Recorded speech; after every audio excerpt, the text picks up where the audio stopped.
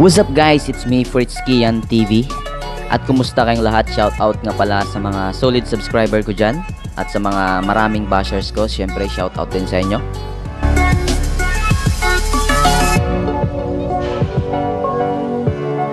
Ngayon guys, alam ko marami pa ring naghihintay sa Rusi RFI 175 at mga nagpapareserve nito.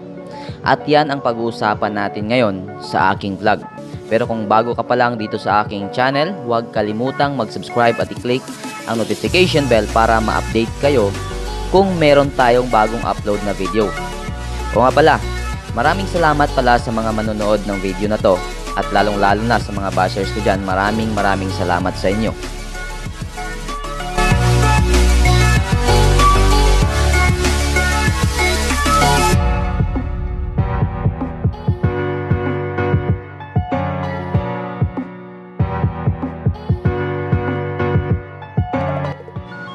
Ngayon guys, balik tayo sa topic natin. Ang Rusi RFI 175 ay kung napapansin nyo, halos lahat ng unit ay wala na. Alam naman natin si Rusi ay China bike. Pero ang tanong, bakit ganon kadali na ubos ang stock ni RFI 175? Alam naman natin dyan na marami talagang naghihintay. Maraming nagpapareserve. At syempre, hindi nawawala yung mga bashers ni Rusi. At syempre, may tanong, na ma-overheat lang itong si RFI 175. Pero sa ngayon guys, marami na ang nag test drive ng long drive dito sa RFI 175. Wala pa naman akong nakikita or nababasa sa Facebook na nagkaroon ng issue or na-overheat ito si RFI 175. Alam nyo kung bakit? Dahil yan marami ang nagpapatunay na hindi na basta-basta China bike si Rusi. Kumbaga, nag-level up na sila sa kanilang unit. Upgrade or kung ano-ano pa yung mga ina-upgrade ni Rosie dahil alam naman nila na once na may feedback or merong issue itong mga motorcycle nila ay talagang uh, bad ito sa kanila.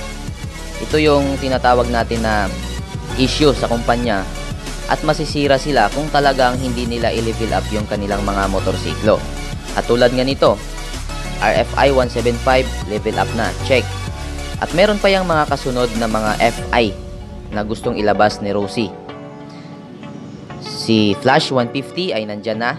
Available na siya sa Luzon, Visayas at hindi ko lang alam sa Mindanao.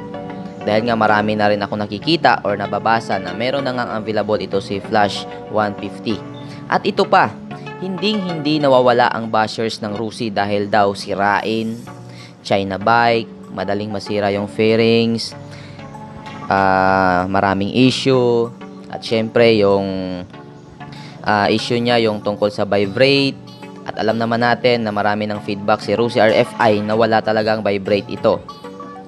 Kaya sa mga gustong bumili dyan ng Rusi RFI 175, wag na lang kayong bumili at maghintay dahil marami raw itong issue. At hindi lang yun, sirain pa si Rusi RFI 175. Kaya kung ako sa inyo, mag-branded na lang kayo. Wala pang issue, sabi nila. At ito pa, marami naman ako nakikita ng mga branded na may issue rin, pero hindi naman lahat meron.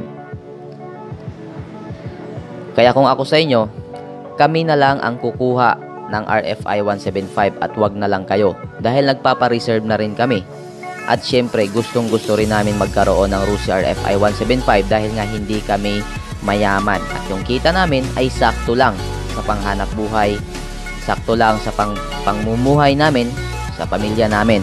At hindi namin kaya yung mga branded na yan na mas okay naman ang forma ni Rusi. Kaya kung bashers kayo sa Rusi RFI 175, wag na kayong bumili. Kami na lang. Peace.